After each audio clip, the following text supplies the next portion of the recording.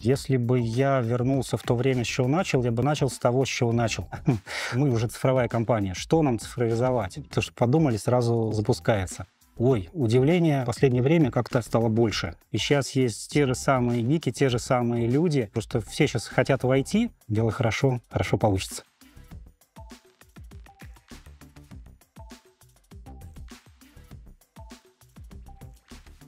Друзья, доброе утро. А, я Алексей Пулектов, а, директор по IT-архитектуре компании ВК. А, здесь э, мы немножко поговорим про то, что объединяет такую большую компанию. У нас огромное количество сервисов, продуктов представляется вам для работы, для времяпровождения, для это как хобби. Для всей сферы жизни, по сути дела, покрыты технологиями. Но самое важное здесь то, что каждая компания, каждый продукт, каждый сервис создавался очень давно и будет развиваться в будущем. И здесь нам нужно смотреть на все то, что находится под капотом, а, на те самые технологии каждого продукта и как его развивать. Достаточно сложная задача с учетом вот этой большой, а, большой картинки, с учетом количества пользователей. Вы не должны Э, видеть э, те или иные изменения.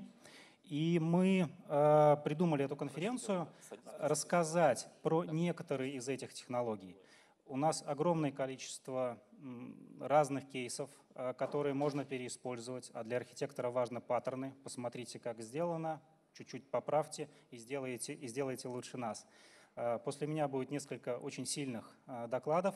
От вас нужна обратная связь с точки зрения того, что вы бы хотели бы улучшить, э, что вы хотели бы посмотреть на будущих наших конференциях. Ну и я открыт э, в кулуарах, э, готов там рассказать все наши секреты, ну, насколько это возможно, как мы делаем те или иные продукты, как мы обеспечиваем high-load, как мы выдерживаем те нагрузки, как мы живем с сервисами, которые вам предоставляют.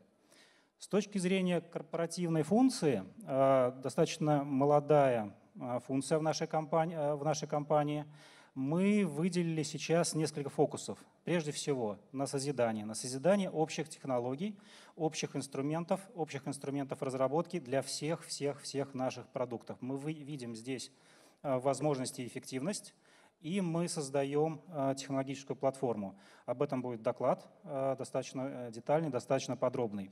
Также мы смотрим на сквозные технологии Компания ВК живая, мы приобретаем новые проекты, э, новые продукты, новые компании, должны каким-то образом интегрировать. Поэтому мы создали некий набор сквозных технологий, которые используются везде.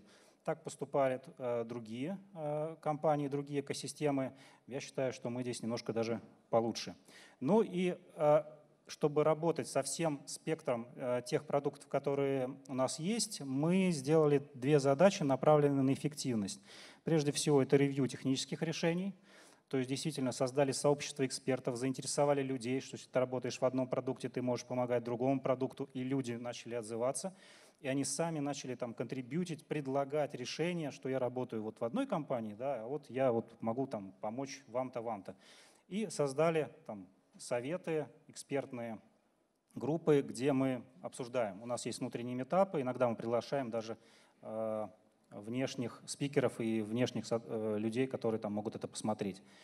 И, э, опять же, видя все наши продукты, это поиск дублирующих решений. Здесь прежде всего мы направлены на эффективность, потому что что-то запущено, какая-то база, какой-то сервис там в одной компании, мы можем его переиспользовать.